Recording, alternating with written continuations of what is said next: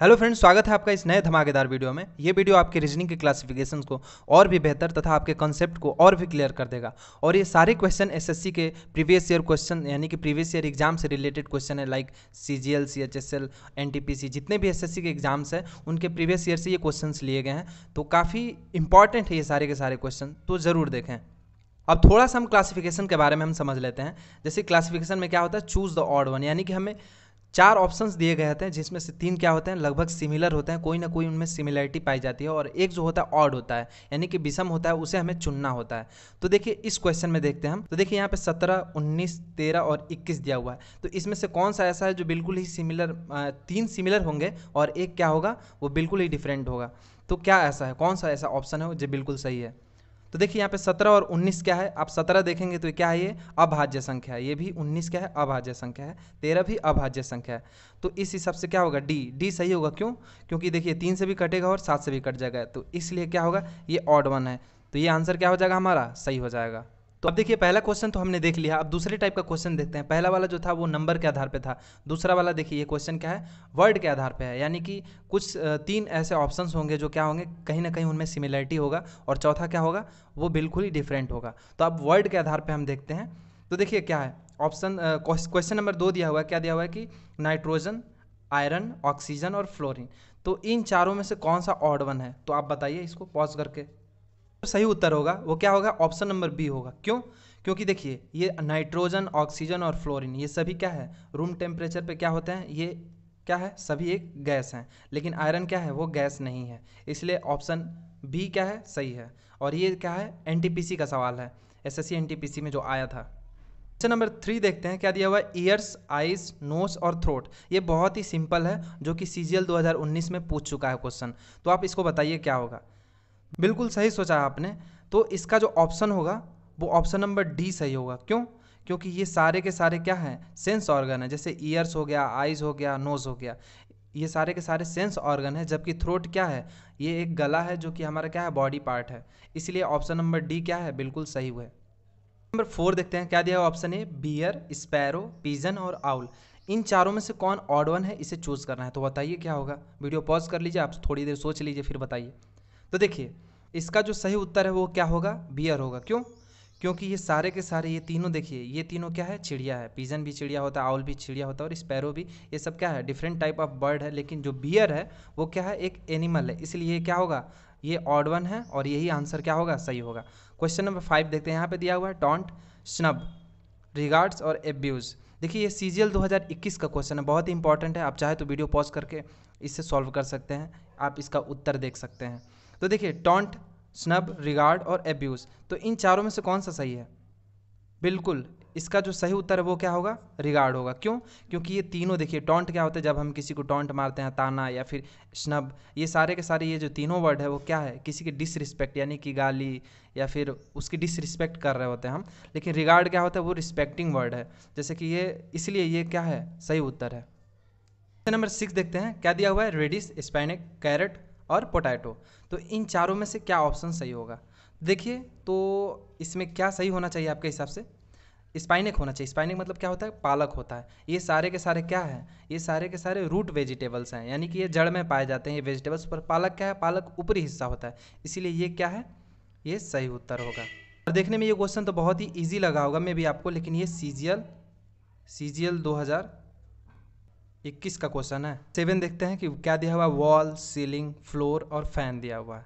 तो ये इसमें से क्या सही उत्तर होगा?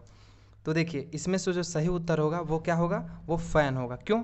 वॉल सीलिंग और फ्लोर ये सारे सारे क्या हैं? रूम के एक हिस्से हैं। जैसे कि वॉल हो गया सीलिंग हो गया फ्लोर हो गया। तो ये रूम के एक हिस्से हैं, लेकिन फ़ैन क्या है? ये रूम का हिस्सा नहीं है। और एट देखते हैं, क्या दिया हुआ हार्ट लंग्स नोज़ और लीवर तो इन चारों में से क्या सही उत्तर होगा? तो इसका जो सही उत्तर है, वो होगा क्या? तो बिल्कुल नोज़ होगा। क्यों? क्योंकि ये सारे के सारे, देखिए, ये तीनों हार्ट्स लंग्स और लिवर ये सब क्या है? बॉडी के इंटरनल अंग है। बॉडी के इंटरनल पार्ट है। पर नोज़ क्या है? ये बाहरी ऑर्गन्स है। इसीलिए नोज़ क्या है? सही है। क्वेश्चन नंबर नाइन देखते हैं। क्या दिया हुआ है? क्रिमिनल किलर डिकॉइट और थिफ दिया हुआ है। तो इसमें से क्या सही उत्तर होगा? इसका जो सही उत्तर होगा, वो क्या होगा? क्रिमिनल होगा। नंबर ए क्रिमिनल क्यों सही होगा? क्योंकि ये देखिए किलर डिक्वाइड और थीफ ये तीनों क्या है? अपराध के ही अलग अलग प्रकार हैं।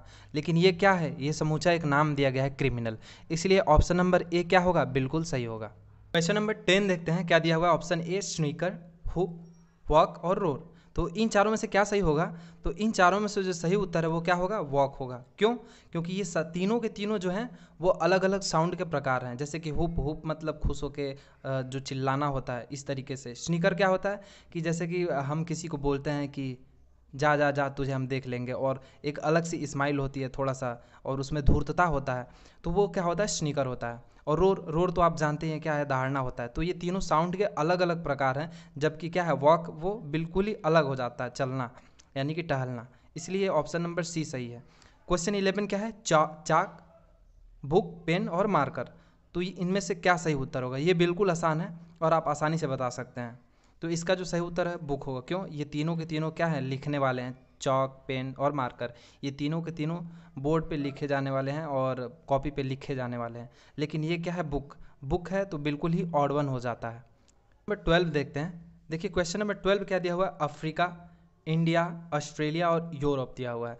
तो इन चारों में से क्या सही होगा? तो इसका जो सही उत्तर होगा वो इंडिया होगा। क्यों? इंडिया क्यों होगा? क्योंकि ये ये देखिए, ये तीनों क्या है? महाद्वीप के नेम हैं। जैसे कि Africa, Antarctica, North America, South America, ये सब क्या है? महाद्वीप के नेम है। ऑस्ट्रेलिया भी महाद्वीप का नेम है और ये यूरोप। ये भी क्या है? ये सब के सब महाद्वीप है, लेकिन इंडिया क्या है? कंट्री है। इसीलिए ऑप्शन नंबर बी जाएगा और इसका सही उत्तर होगा। क्वेश्चन नंबर थर्टीन देखिए मीटर सेंटीमीटर किलोमीटर और माइल तो इन चारों में से क्या होगा? इन चारों में से जो सही उत्तर होगा, वो होगा माइल क्यों? क्योंकि ये देखिए तो ये सब क्या है? मेज़रमेंट यानी कि मीटर प्रणाली है मैट्रिक्स मेज़रमेंट है। मीटर प्रणाली है, इसीलिए तीनों के तीनों क्या है? ये सेम होंगे, लेकिन ये माइल क्या है? बिल्कुल ही ऑड वन हो जाता है। अब देखते हैं हम क्या? क्वेश्चन नंबर फोर्टीन देखते हैं। देखिए क्वेश्चन नंबर फोर्टीन क्या दिया हुआ है कि पेन पेंसिल पेपर और चाक दिया हुआ है। तो ये भी सिमिलर है, अभी जो हमने देखा। तो ये भी बहुत ही आसान है। तो क्या होगा? इसका जो सही उत्तर होगा, वो पेपर होगा। ये तीनों के तीनों क्या है? लिखने वाले हैं। इसलिए पेपर क्या होगा? बिल्कुल ऑड वन हो जाता है। क्वेश्चन नंबर फिफ्टीन देखते हैं, क्या दिया हुआ है? फॉरवर्ड इंडेक्स प्रीफेस और एडिशन दिया हुआ है। तो इन चारों में से सही उत्तर क्या होगा?